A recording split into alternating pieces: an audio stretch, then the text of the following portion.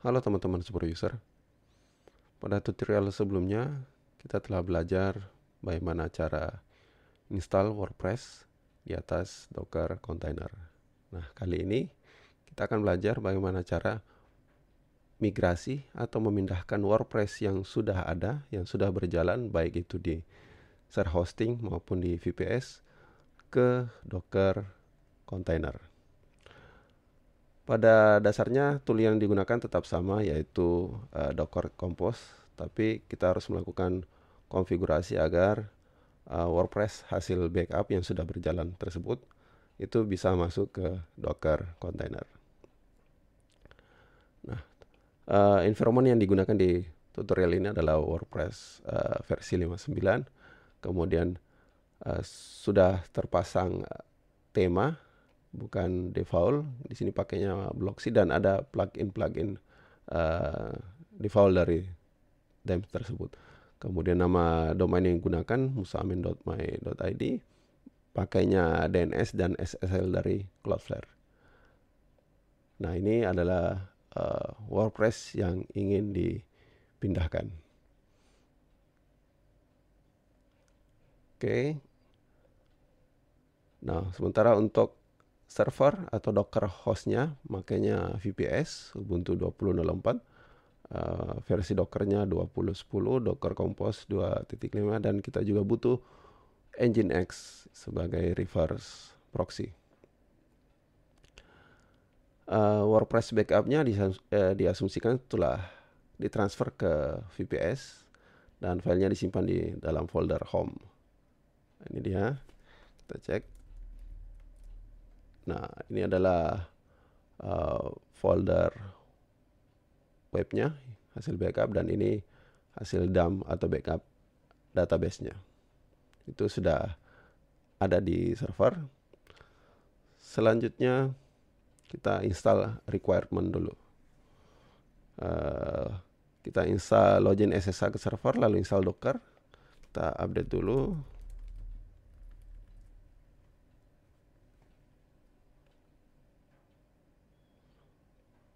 Oke. Lalu kita install dulu dependensi untuk install dockernya. Oke, ini sudah terinstall semua. Lalu kita download JPGK-nya. Oke.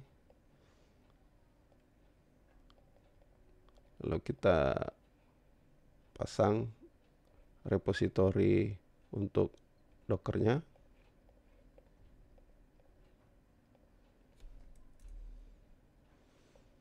Oke, kita jalankan lagi update.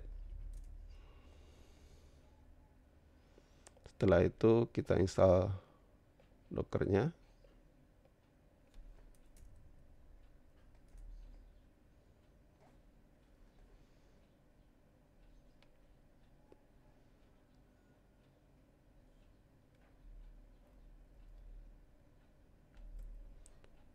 Setelah Docker terinstall, kita masukkan user yang digunakan sekarang ke dalam grup Docker agar tidak perlu menggunakan uh, sudo pada saat menjalankan Dockernya.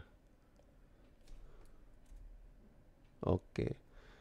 Setelah itu kita lanjut install Docker Compose. Kita download Docker Compose-nya dari GitHub.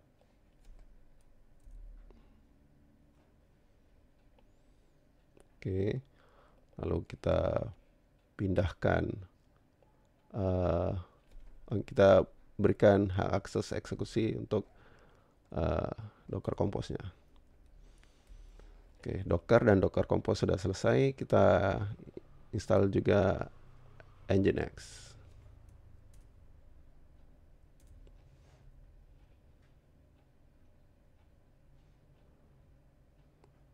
Oke, ini next juga sudah selesai.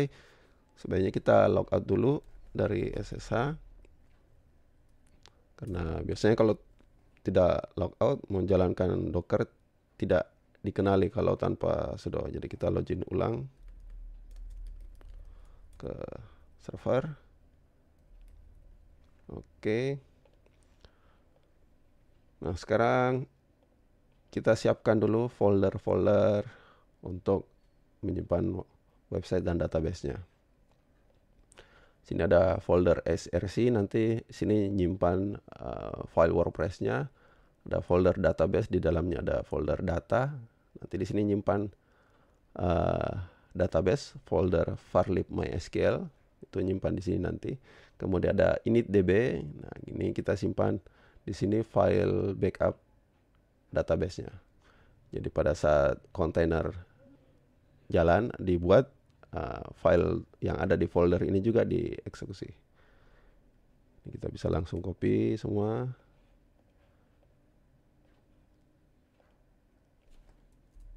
Oke, foldernya sudah siap. Nah, sekarang copy file WordPress ke folder src. Tadi di sini ada folder WordPress. Nah, isinya ini akan di copy ke folder src.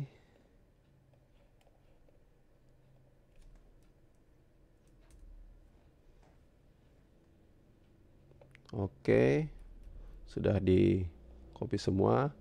Lalu kita ubah ownershipnya ke www data yang merupakan user user dan grup untuk web server di Ubuntu. Di sini kita pakai Nginx.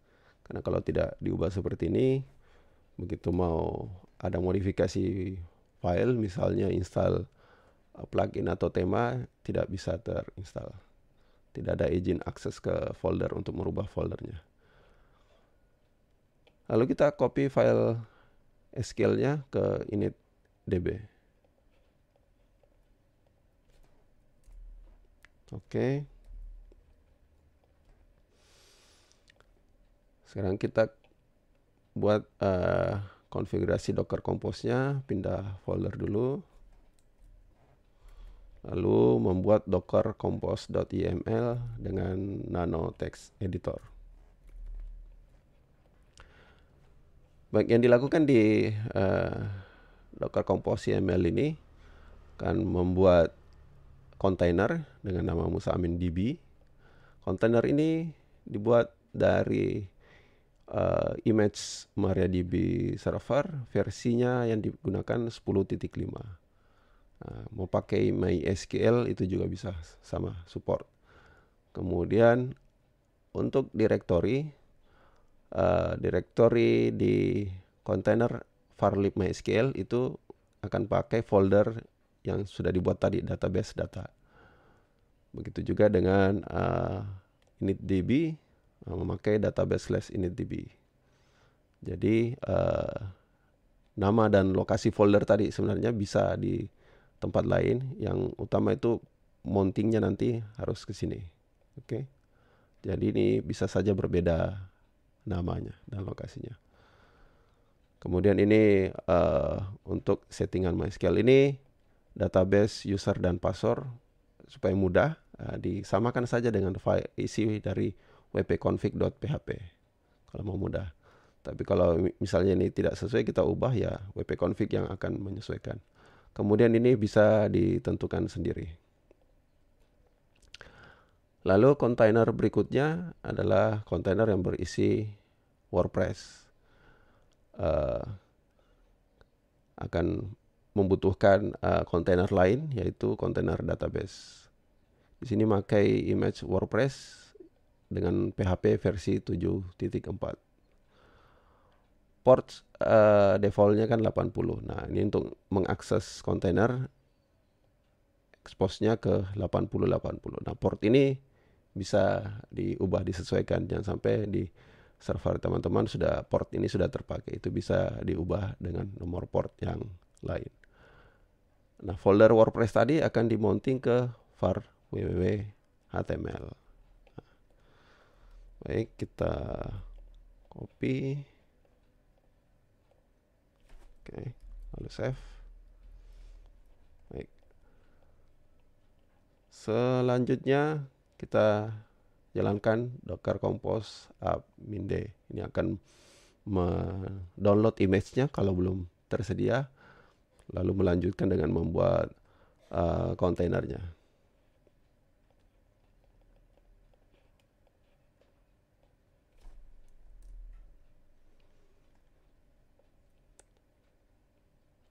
Oke, ini mulai melakukan download dan ekstrak.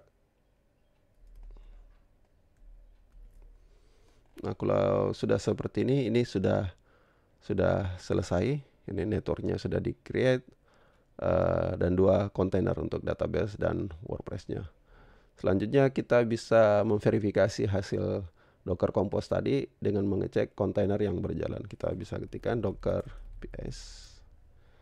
Nah ini sudah jalan. Ini pakai image PHP 74 tadi untuk uh, WordPress-nya. Nah ini jalannya di port 8080. Sementara untuk uh, database jalan di port uh, 3306. Kita tidak custom tadi uh, nomor portnya. Selanjutnya kita lakukan konfigurasi Nginx supaya nanti aksesnya pakai port 443 atau HTTPS. Kita bikin dulu generate uh, eh, dhparam.pem ini untuk kebutuhan SSL-nya. Security tambahan. Setelah itu digenerate, kita lanjut membuat konfigurasi uh, Engine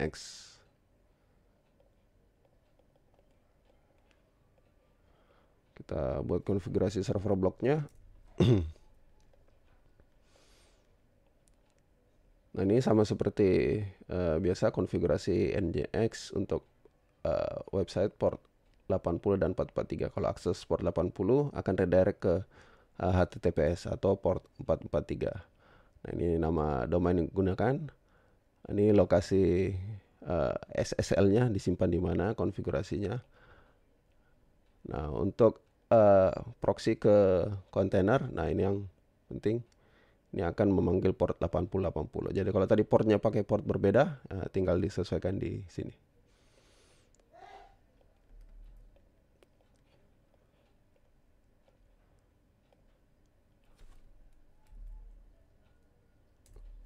Oke.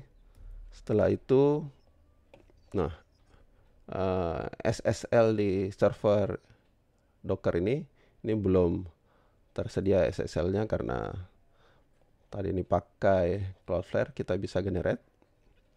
Oke, statusnya DNS-nya di sini pakai active proxy-nya. Jadi kita SSL-nya, nah ini pakai full streak. Jadi kita butuh SSL di server.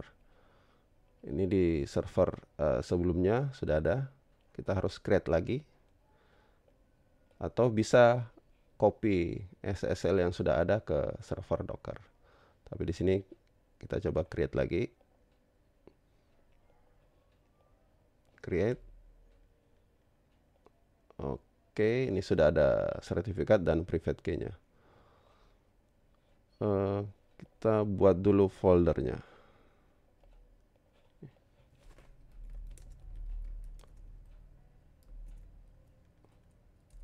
Oke. Lalu siapkan nanonya uh, untuk file sertifikatnya. Kita copy.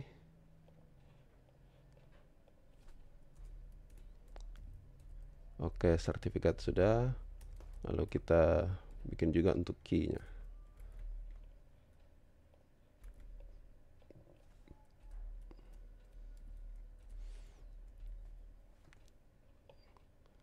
Lalu oke okay, di sini di Cloudflare. Baik. Setelah Engine X beres, kita uji dulu konfigurasinya apakah tidak ada masalah.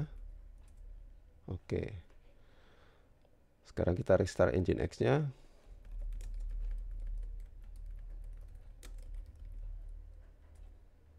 Nah. Oke. Okay. Sudah selesai. Lalu kita butuh melakukan perubahan konfigurasi di WordPress di wp config.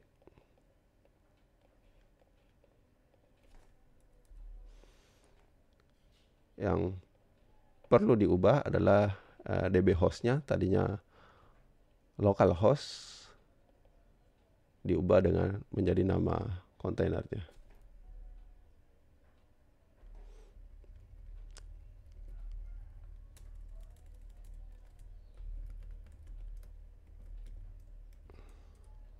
Oke. Lalu kita perlu konfigurasi tambahan untuk HTTPS-nya, masangnya di atas uh, komentar ini.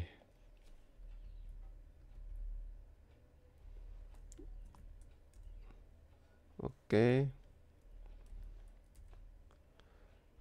Oke, selesai di wp config. Lalu membuat file htaccess jika belum ada.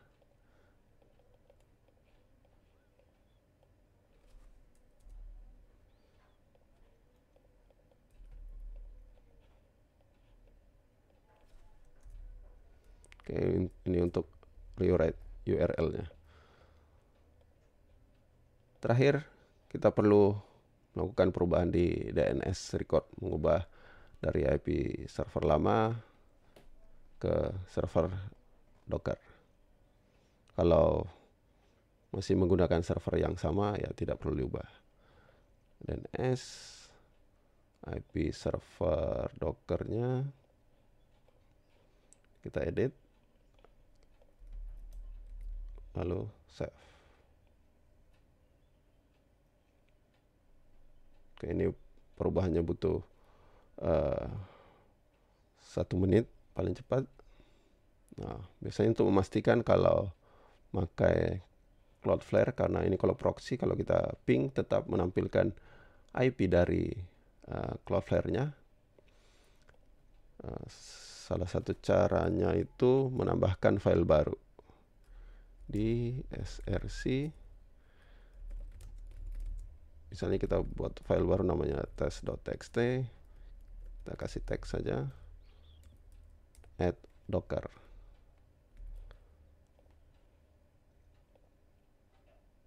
Nah kalau kita refresh ini coba. Nah ini kita belum tahu. Belum tahu pasti apakah ini sudah uh, DNS-nya sudah pindah ke server baru atau masih server lama. Jadi tadi kita tambahkan file test.txt. Oke, ini sudah memakai uh, Docker, bukan lagi di server yang lama. Uh, pengujian pertama setelah instalasi uh, selesai, kita lakukan pengujian kita akses halaman depan uh, post detail. Halaman depan oke okay, tidak ada masalah. Kita klik post detailnya. Oke okay, ini bisa berjalan dengan baik. Gambar juga tampil dengan baik. Oke okay, tidak ada masalah di halaman depan. Kita masuk ke dashboard. Nah ini juga berhasil. Ini kalau ada biasanya kesalahan ada yang kurang di konfigurasi SSL itu akan uh, redirect berulang-ulang kali. Jadi, akhirnya tidak terbuka halamannya.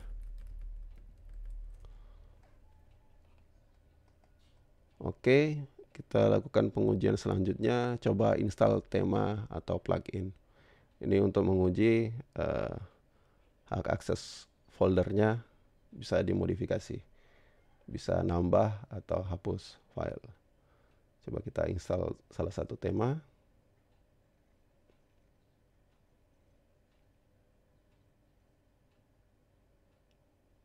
Oke, ini bisa jalan terinstall. Kalau kita cek di tema, Astra-nya udah muncul. Kita coba hapus tema, delete. Oke. Oke, ini juga sudah terhapus. Tidak ada masalah. Sekarang kita coba posting uh, artikel.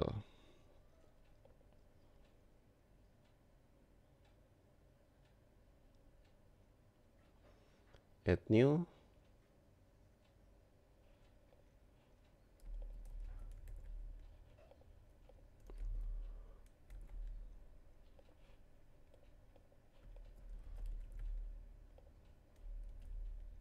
Lalu kita post tambahkan gambar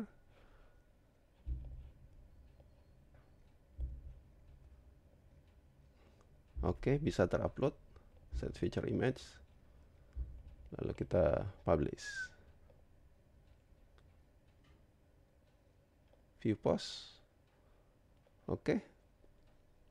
tidak ada masalah dengan post. Kita cek di laman depan, oke, postingan barunya juga sudah tampil. Jadi bisa dibilang ini sudah berhasil melakukan migrasi uh, WordPress ke Docker container. Sekarang kita coba uh, bagaimana kalau mau backup database. Nah, kita bisa jalankan perintah uh, MySQL dump. Ini akan menjalankan perintah ini yang berada di dalam uh, container ini. Masukkan username root, passwordnya, nama database yang mau di backup, dan disimpan ke mana file backupnya. Oke, kita copy dulu.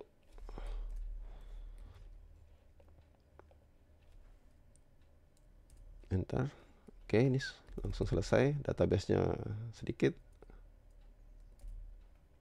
Nah, ini dia. Ini file backup yang dari WordPress uh, di Docker. Nah, jika ingin menghapus uh, kontainernya, itu bisa menjalankan perintah docker compose down.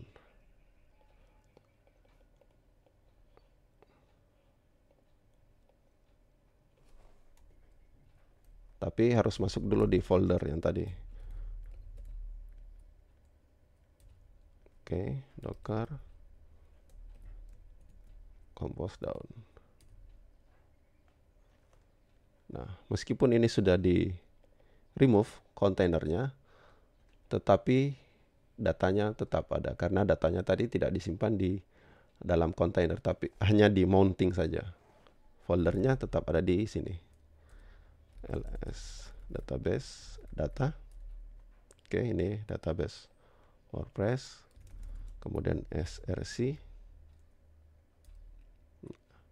tetap ada datanya di sini. Ini tadi file yang baru dibuat.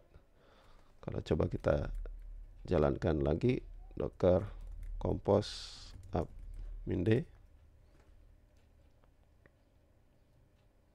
Oke, ini dibuat kembali.